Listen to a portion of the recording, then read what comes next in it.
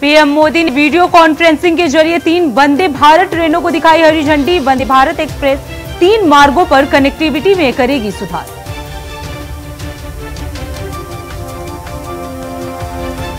UP को मिली एक और वंदे भारत ट्रेन, पीएम ने दिखाई हरी झंडी।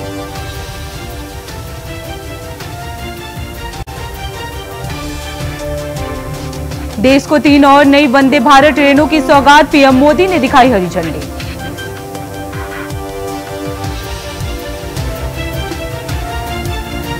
पीएम मोदी ने तीन नई वंदे भारत ट्रेनों को दिखाई। हरी झंडी, कहा हमारा देश विकसित भारत लक्ष्य की ओर कदम दर कदम बढ़ रहा है।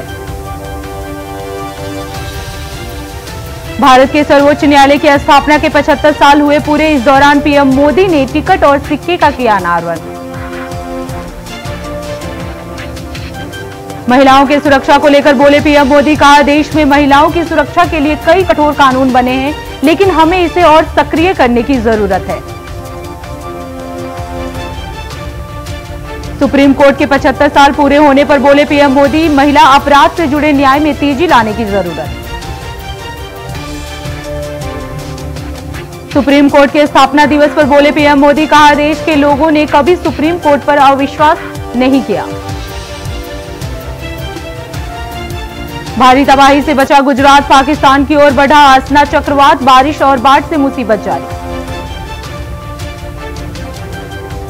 ओमान की ओर बढ़ा चक्रवात असना गुजरात पर असर नहीं, अमित शाह ने गांधीनगर की जमीनी स्थिति की की समीक्षा। गिरिराज सिंह का बड़ा बयान, कहा राहुल, अखिलेश और तेजस्वी की सरकार बनी तो भारत को पाकिस्तान, बांग्लादेश बना देंगे। सीएम ममता के आरोपों पर आरोपों पर केंद्र का पलटवार कहा पत्र में गलत जानकारी देकर कमी छिपा रही है मुख्यमंत्री। गृह मंत्री अमित शाह से मिले पश्चिम बंगाल के राज्यपाल कोलकाता कांड को लेकर हुई चर्चा।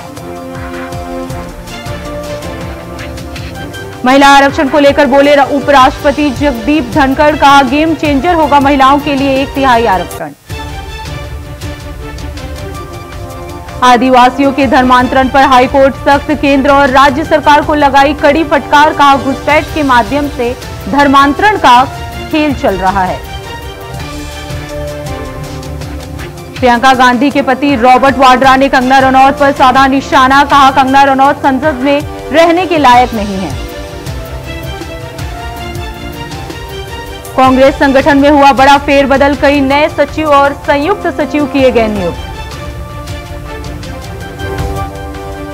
दिल्ली के नए मुख्य सचिव होंगे धर्मेंद्र कुमार। उन्नीस बैच के आईएएस अधिकारी हैं धर्मेंद्र। एक सितंबर से कार्यभार संभालेंगे। शरद पवार की पार्टी का तंज, कहा, भाजपा के लिए एनसीपी को गठबंधन से निकालने का समय आ गया है। शरद पवार ने बीजेपी पर कसा तंज, कहा, देश के अल्पसंख्यकों ने मोदी को 400 के पार से दूर रखा, मुसलमानों को मिले आरक्षण। प्रयागराज के स्पा सेंटर में पुलिस ने की छापेमारी। आपत्तिजनक हालात में पकड़े गए लड़के और लड़कियाँ, तेरह लड़कियाँ और सात लड़के हिरासत में। यूपी एटीएस को मिली बड़ी सफलता। फर्जी जन्म प्रमाण पत्र बनाने वाले गिरफ़्तार नागरिक पंजीकरण प्रणाली का कर रहे थे फर्जी उपयोग। लखनऊ में दिखी दबंगों की दबंगई। पत्रकार के साथ दबंगों ने किया मारपीट। मारपीट का वीडियो सीसीटीवी में हुआ कैद। पुलिस ने आरोपियों को किया गिरफ़्तार। यूपी में कांग्रेस ने नहीं बदले पुराने प्रभारी, कांग्रेस ने पाँच प्रभारी सचिवों को पुनः मौका दिया। राजेश तिवारी, तौकीर आलम सहित तीन प्रभारी सचिव बने रहेंगे पद पर। राजनाथ सिंह का बड़ा बयान, कहा, आज़ादी के बाद महिलाओं को इस देश के विकास में सक्रिय योगदान देने से वंचित रखा गया, लेकिन अब स्थिति तेज़ी से बदल रही है। राहुल गांधी द्वारा लिखे गए पत्र पर हुआ एक्शन, बहुचर्चित अर्जुन पासी हत्याकांड मामले में बड़ी कार्रवाई। लापरवाह थाना प्रभारी जितेंद्र मोहन सरोज निलंबित, एसपी अभिषेक अग्रवाल ने किया निलंबित जम्मू कश्मीर में 4 सितंबर को दो चुनावी रैलियों को संबोधित करेंगे राहुल गांधी, पार्टी की तरफ़ से मिली जानकारी। रायपुर के छह आईएएस अधिकारियों के प्रभार में फेरबदल मंत्रालय ने जारी किया आदेश। निहारिका बारिक को मिली अतिरिक्त ज़िम्मेदारी। रायपुर में बस स्टैंड के पीछे महिला से गैंग रेप दो आरोपियों ने बनाया हवस का शिकार। पुलिस ने एक आरोपी को किया गिरफ़्तार। सीएम ने जू जित्सु खिलाड़ियों से की मुलाकात। मुख्यमंत्री ने खिलाड़ियों को दी बधाई। चैंपियनशिप में जीते दो दो पदक। पूर्व मुख्यमंत्री भूपेश बघेल ने की प्रेस कॉन्फ्रेंस, बीजेपी पर बोला हमला। कहा, छत्तीसगढ़ में कानून व्यवस्था बदहाल हो चुकी है। एसपी थानेदार भी गुंडों से डरते हैं। पूर्व सीएम ने कानून व्यवस्था पर कसा तंज, आरोपों पर ब्रिज मोहन अग्रवाल ने किया पलटवार। कहा, कांग्रेस के समय रायपुर शहर चाकूपुर बन गया था। सूरजपुर में बीजेपी ने शुरू किया सदस्यता अभियान। पार्टी ज्वाइन करने के लिए लोगों को किया प्रेरित। नए सदस्यों को विधायक ने किया स्वागत। विपक्ष को एक और बड़ा झटका, चंपई सोरेन के बाद लोबिन हेम्ब्रम भाजपा में शामिल। कांग्रेस ने संगठन में किया बड़ा फेरबदल। देश के कई राज्यों में कांग्रेस के सौ प्रभारी घोषित। परकट सिंह और सुरेंद्र सिंह बने उत्तराखंड के सौ प्रभारी। वाराणसी एयरपोर्ट पर महिला क्रू मेंबर से हुई छेड़खानी मौके पर पहुँची। पुलिस ने आरोपी को किया गिरफ़्तार। वाराणसी से हैदराबाद जा रहे थे यात्री। पूर्व सीएम त्रिवेंद्र सिंह के बयान की सफ़ाई देने में जुटी बीजेपी, कहा, प्रदेश में कानून व्यवस्था चाक चौबंद है। किसी भी निर्देश को सजा ना मिले और दोषी छूट ना पाए। केदारनाथ धाम में क्रैश हुआ हेलीकॉप्टर। सेना के एम आई सेवेंटी चौपर से गिरा हेलीकॉप्टर। हेलीकॉप्टर क्रैश का वीडियो हुआ वायरल। अमित शाह की मौजूदगी में एनसीओएल और जैविक उत्पाद परिषद उत्तराखंड के बीच साइन हुआ है। बॉन्ड सीधा किसानों के बैंक खाते में जाएगा मुनाफा। हरिद्वार डीएम धीराज सिंह ने की कई विभागों की समीक्षा बैठक। एसडीएम और कई अधिकारी हुए शामिल। डीएम ने दिया भविष्य की सुरक्षा का आश्वासन।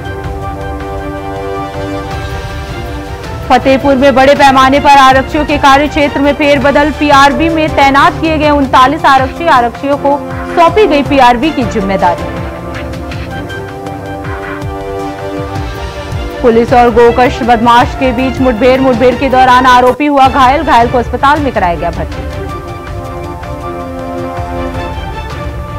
यूपी सरकार के नए नजूल अध्यादेश को चुनौती 26 याचिकाएँ हाईकोर्ट में दाखिल। नजूल की ज़मीन को फ्री होल्ड करने की अपील। सिद्धार्थनगर में हुआ बड़ा हादसा। रोडवेज़ बस से की चपेट में आने से युवक की मौत। सूचना पर पहुँची पुलिस ने शव को कब्जे में लेकर जाँच पड़ताल में जुटी। अंकिता भंडारी हत्या के कांड मामले में हाईकोर्ट में हुई सुनवाई। आरोपी सौरभ भास्कर को बड़ा झटका हाईकोर्ट ने खारिज की जमानत याचिका। जौनपुर के पूर्व सांसद और उनके दो बेटों पर केस दर्ज। पूर्व पालिका अध्यक्ष के भाई से रंगदारी मांगने का आरोप जान से मारने की भी मिली धमकी। नई ऊंचाइयों पर शेयर बाज़ार सेंसेक्स 300 अंक चढ़ा निफ्टी ने 25,250 को छुआ रायपुर, कांकेर में रिमझिम बारिश, छह जिलों के लिए जारी किया गया अलर्ट, अगले दो दिन में बारिश। हमीरपुर में हथियारों से लैस दबंगों ने घर में घुसकर बोला हमला, तमंचे की बट से युवक के सिर पर किया वार, पीड़ित की माँ ने एसपी दफ्तर पहुंचकर लगाई गुहार।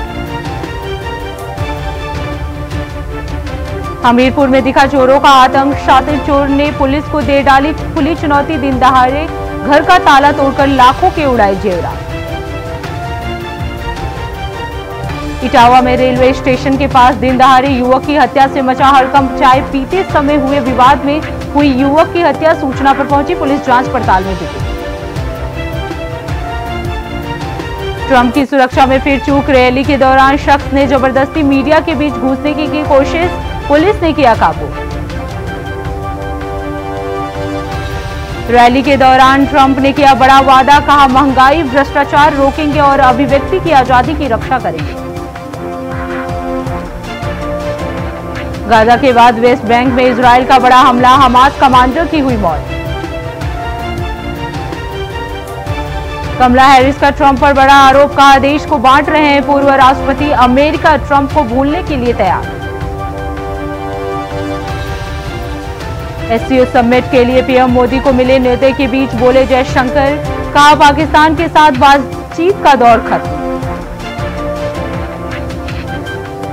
एलॉन मस्क को लगा बड़ा झटका। ब्राज़ील ने एक्स पर लगाया बैन। कंपनी नहीं नियुक्त कर रही थी कानूनी प्रतिनिधि।